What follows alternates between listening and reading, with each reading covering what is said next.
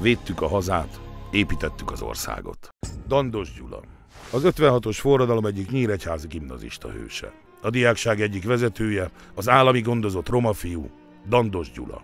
Október 26-án, a nyíregyházi események első napján ő az egyik szónok. December közepén az ávósok annyira megverik, hogy mozogni is alig bír. 1957. február 10-én a határőrök agyonlövik Szent Gotthárdnál.